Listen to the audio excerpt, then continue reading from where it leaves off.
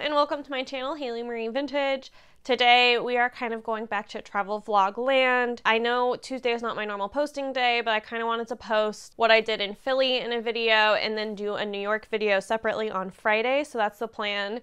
This is partially to make sure the New York video isn't like hours long, but also I am trying to help myself out a little bit with the algorithm by separating Philly from New York, even though technically some of Philly is in New Jersey because I stayed in New Jersey technically. I didn't kind of realize that New Jersey and Philly were so close. I'm, I'm from a big state. I'm from Colorado and I am now in Washington and they're both big states that you can't really stumble into another state on accident. So that's the first two parts that are coming this week and then I'm going to show you you my haul from the garment district, what I picked up fabric wise, in a couple weeks. And then a couple weeks after that, I'm going to show you all the vintage and antique and stuff that I picked up as well. So that's kind of the structure of these. They're going to be coming out in between my sewing videos. And I thought it would be good to separate out the haul videos because I know my travel vlogs are kind of more for a niche audience. So that's the plan. So if you're not into travel vlog, I do not take any personal offense. You can skip this week's videos. We'll be back with like hauls and sewing content very, very soon. But with that, we're gonna hop into my trip to Philly. So I took a red eye on a Friday night and then I stayed Saturday, Sunday, and part of Monday, uh, I stayed with a friend in New Jersey. She took me to a bunch of activities that are local that she knew of. So in this video, we're gonna do a little bit of vintage shopping, a little bit of antiquing, as well as visit the Eastern State Penitentiary and Philly's Magic Gardens.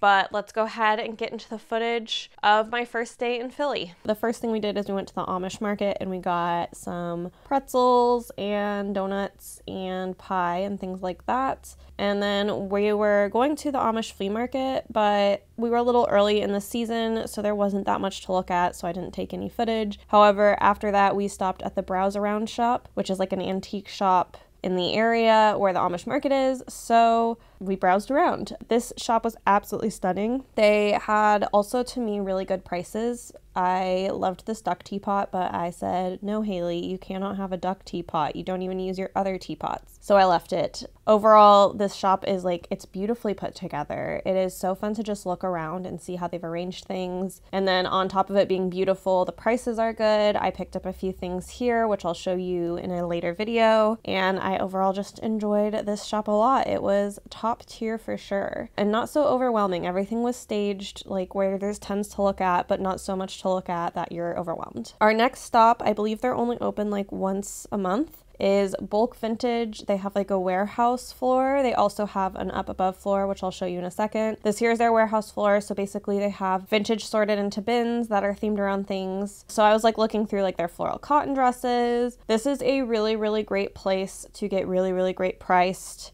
80s and 90s vintage. Here is a montage of me trying on a whole bunch of dresses. I got some, I left some. It was pretty hard to stay reined in here because there were so many cute pieces. I was trying not to add anything unintentionally to my wardrobe, so I think what I bought, I bought with a lot of really, really great intention. So I'm pretty pleased with this, but I tried on, I'm showing you all the dresses I tried on, but on top of the dresses, I tried on, I think, like 30 skirts. I was really on a skirt hunt. Uh, they also had like some hung up, kind of more beaded or special pieces, like this cat dress, which was so fun. And I kind of filed that away for inspo for myself for a future project. But they had lots of like beaded stuff. I can definitely tell the way they source their vintage here is they get shipped like bales from thrift shops and then they grade them themselves. This is a really fun set that I considered, but they were charging 35 for it and I would have had to completely redo the lining, soak out a lot of the staining on the sleeves. It was going to be too much work.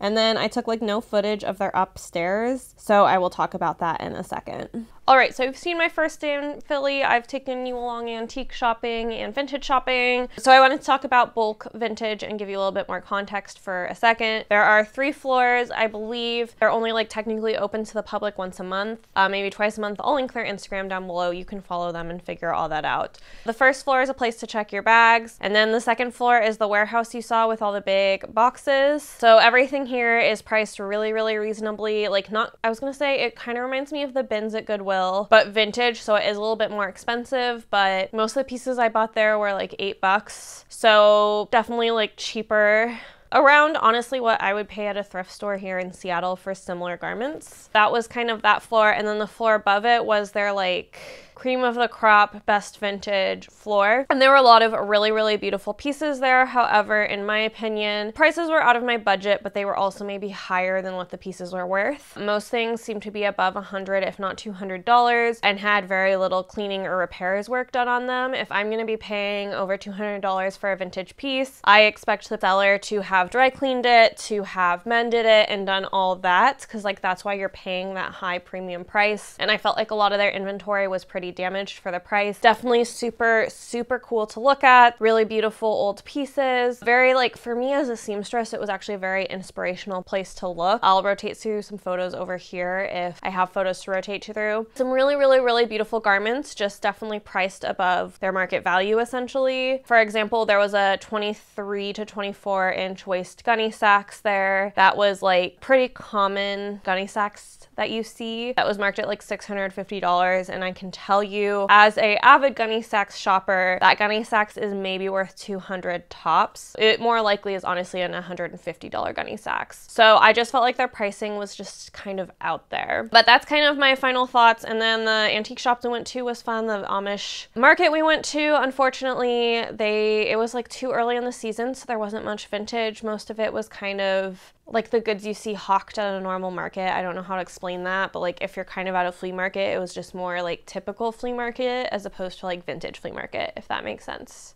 And then now we're to jump into more footage of the next day where we actually headed into Philadelphia proper. The next day we headed into Philly proper using both the train system and the bus system. I always recommend trying to use public transit when you're in a city. I'm taking this footage here from a bus downtown and I really love the mix of this beautiful old architecture with some really beautiful skyscrapers in the background. Obviously not that one, that one's chunky. But yes, there is a lot of dirt on the windows. Forgive me for that. I could probably just like ride around on buses in cities like this and stare out the window and thoroughly enjoy myself. So uh, here is some of that footage. I love cities that just have that mix of old and new, right? And I think what's fun about and like maybe a little bit different about American cities than some of the other cities I've traveled to is it feels like things are more blended. I feel like in other cities I've been in, there's like the modern part of the city and the old part of the city.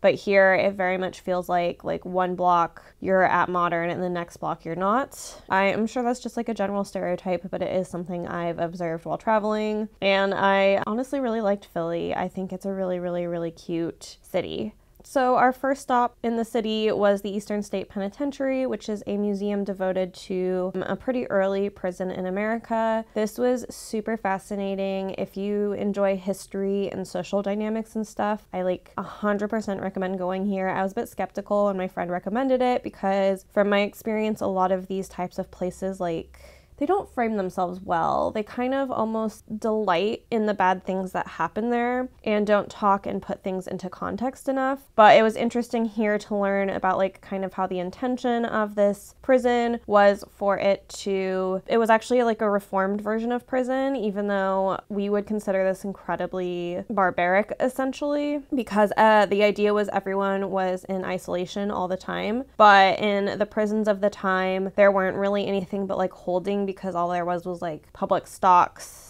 hanging. There was other forms of punishment that didn't involve like basically like time alone and a lot of those prisons you would actually die in because of the disease. So the idea of this prison was to keep it really clean. It was very religious based that you were going to be like more pious and you were going to spend a lot of time in solitary like thinking about and reforming yourself. Of course, today we now know that this is incredibly incredibly hard on the human psyche. Isolation like this is I believe constitutionally cruel an unusual punishment. So it was, I guess, good intention for a prison, but ultimately humans in power are flawed. So, of course, it ended up not good. There's all sorts of problems with this prison. But the other thing I liked about visiting here is I feel like the so they basically talked about how there were two types of prison systems that arose at this time. I can't remember the other one. This one, which the isolation was just too expensive, or initially they could only hold like 250 prisoners. So eventually they completely changed it to kind of more of a working jail where you might have four people in these cells. And they also did a two story cell blocks, which is kind of what you're seeing here.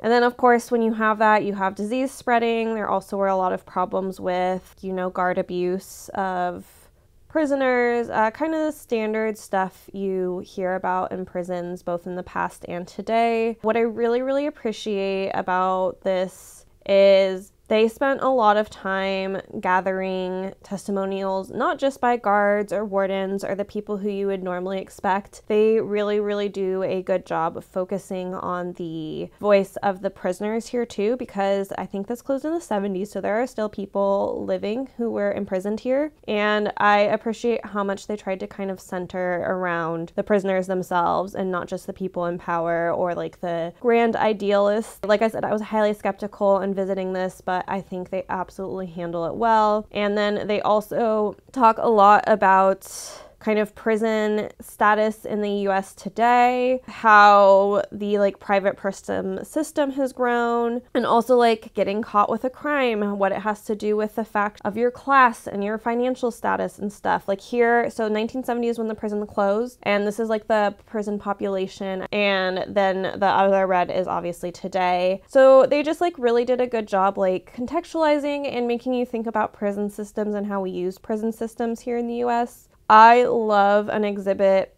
that essentially like doesn't stop the story in history but continues it into today. Like here they're showing world's highest like prison with um, who has capital punishment and who doesn't. They're showing like the racial breakdowns here of like 1970 to today, showing kind of the incarceration, essentially the disproportionate incarceration of, like I said, BIPOC people. I just think they they did just such an impressive job taking something that is historical and bringing it into the present to really make you think.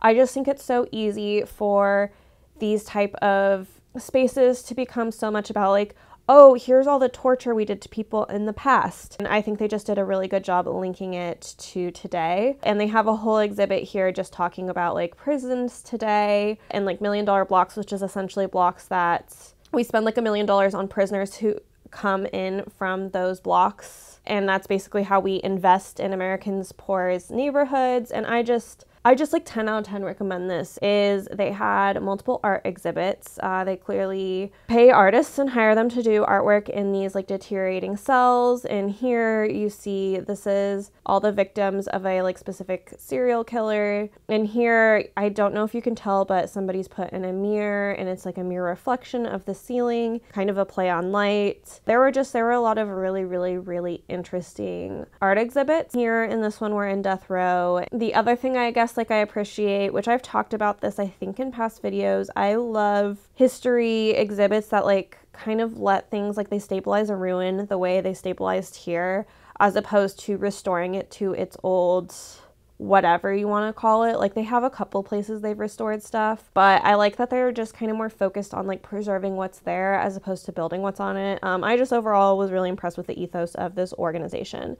I feel like trying to tell the story of prisons in America is a huge challenge, and the fact they did so well on it is really, really big deal. From here, we're back on a bus, which is why you see these little dots. We are headed to a much more light experience, and we are going to a big art garden in Philly. This is Philadelphia's Magic Gardens. I was initially also skeptical of going to this because it kind of looked like an Instagram trap, uh, but I was informed that this was built much before Instagram. I'm, I'm not a huge fan of art installations that seem to just be there to be social media content essentially and isn't like critically thought of art, which I know is very ironic given I am social mediaing here by putting this on YouTube. So from their website, Philadelphia's Magic Gardens is an immersive mixed media art environment that is completely covered with mosaics. The creator, Isaiah Zagar, used handmade tiles, bottles, bicycle wheels, mirror, and international folk art to chronicle his life and influences. The space is made up of two indoor galleries and a bi-level outdoor sculpture garden. So what I did, I think, love the most here is the folk art sculptures that he worked with international folk artists on because I think folk art is so cool and it's like an underappreciated art form. So any of the like mermaid statues or other statues you see here is that folk art and you see like a lot of folk art that you can tell is kind of like representational of gods and things. And this was just like really really cool, which is maybe a really boring summary. But as somebody who loves ceramics, I also just loved the like mix use of things. And I come from an art background. This is essentially one really really giant not just mosaic but assemblage.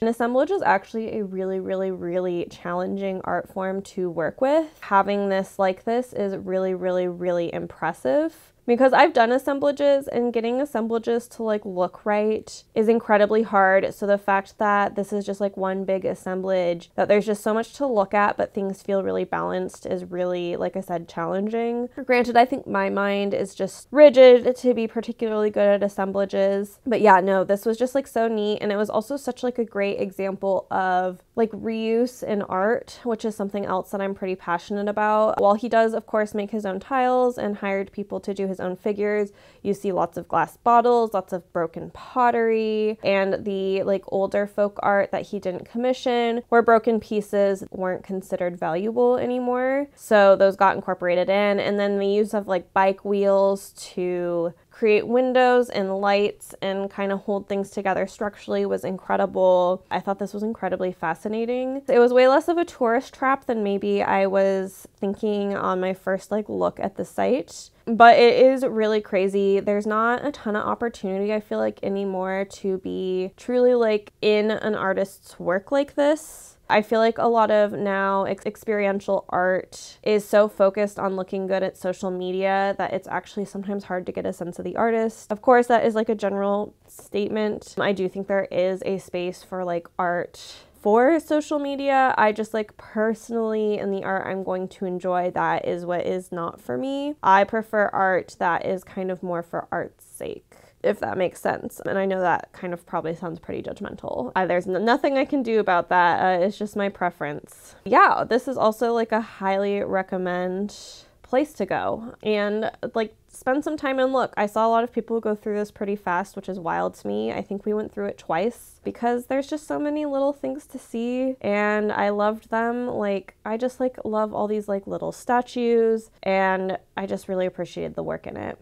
I don't know that I have like a huge summary wrap up here, but this was really enjoyable and it was also a good contrast to kind of having been in such a space with hard energy in it as that prison to kind of go into a space that's a little bit more joy focused and art focused but also very like intellectually stimulating our next stop is Anastacia's, which is a antique store in Philly. If you are like obsessed with the Victorian era, this is a must see. Just the jewelry case alone was pretty insane. Lots of hair art, mourning jewelry, combs, like just really, really impressive collection of goods. So even if you don't have money to spend, it is 100% worth stopping in. It is like looking at a museum. I, of course, did buy some things because I'm me, and again, those will be shown up in a follow up video. But this was just another antique store that I just think is like very delightfully laid out. I don't feel like there's really an antique store in Seattle that like is just so intentionally and thoughtfully laid out the way that the ones I saw in Philly are. But I've also just like never seen so much hair art in my life. These are a bunch of like hair and mourning little things. And I think it was very impressive collection. I talked to the owner, she clearly knows a lot. And yeah, it was just a really unique collection. Also, like just the lamps here were really cool. Uh, I I appreciate somebody who appreciates lighting. Lighting is actually a like skill I'm not great at. Like how to light a space and make the vibe better by the way you light a space. And I think that the person who arranges the store is very very successful at using light. I mean, like, look at this. This is stunning, and I would never think to use this mini mixed lights to create an effect like this. I did feel very, very tempted by some of the glassware here, but I talked myself out of it because I still had to make it to New York with the same suitcase and then make it home on a plane. She had some incredible hair wreath. I thought they uh, about 500 to $600 were not outrageously priced, but this is my first time I've definitely ever seen hair wreath art for sale. So that was just interesting. Like I said, this is like being in a museum, and so I highly recommend checking it out. And we, of course, ate a bunch downtown and stuff like that, but it was time to take the train back out of Philly. You can see the golden light. We were trying to get out of the city kind of as fast as possible because we were there on St. Patrick's Day and people were already starting to get pretty rowdy and it was like six o'clock. So we were trying to escape and get home well before the full rowdy was out and about. And it's the next morning, and I really just have a half day here today. I'm heading out to New York around noonish. I'm trying to get in before rush hour. But here is feeding time with the cute cats. This is the only time I think you'll be able to see all four of them together because they two of them are fairly scared of me. This is my dream. My dream is to have probably actually only three cats, but I don't know. I just like look at this long boy. I just I loved spending time with my friends' pets. Her cats were so fun to watch with their shenanigans. And then her little dog Sam was so cute and he loved me so much and he slept with me a couple nights, which I was so happy about. It was so great. He's he's such a little cutie. Also, I will say staying at my friend's house has me fully convinced that I need a sun porch in my future home. I loved being able to sit out here. It's a really great space for cats. Sun porches are a thing here in Washington, but like less of a thing. But I noticed here in Philly, it seemed like probably over 50% of the houses had some form of sun porch. And it was also really nice to have like an indoor space to take my shoes and coat and stuff off that wasn't like actually inside my home. And if I was to have three cats, this could kind of double as like my space and catio. So it is something now that's kind of on the back of my mind for hopefully eventually having a future home. I've spent time in people's screened porches and I haven't liked them as much. I think I am definitely like a windowed sun porch type of gal, especially especially if I'm staying here in the Pacific Northwest. But yeah, the cats are so cute. All the kitties. Uh, we have three of them here, which is great because Krampus, who is the cat on the windowsill, is deeply afraid of me. And then this is Grindel, and that was knocked. And yeah. And the little Tortie you saw, his name is Pippin. Here, I am headed to New York on the train again. I'm really bummed, sorry for the grainy, like weird, gross footage. The windows were so hard to see out of, which I was so bummed at because I love being on trains and looking out the window and you could barely see out these windows. So now we are at wrap up. You have seen my footage in Philly, gotten a little pet tour of my friend's place overall, I really, really, really enjoyed Philly. I would like to go back there, go a little bit more in depth. There were actually quite a lot of museums and attractions I wanted to see. So I will be back for surezies. I really, really, really enjoyed the city and being there and the food was good and yeah just definitely would recommend checking out philly it was well worth it I don't know how to explain it like compared to New York. Like I feel like it's just it was a little bit of a chiller vibe, just a little bit smaller, but still a lot of really interesting niche things there. And the museums and the history in Philadelphia is pretty crazy. So there's lots of things for you to check out. So I just overall would really recommend visiting. And with that, I'm going to head to New York in the next video, which you will see on Friday at my normal time. So definitely subscribe and stick around if you would like to see that. And I will see you then. Bye.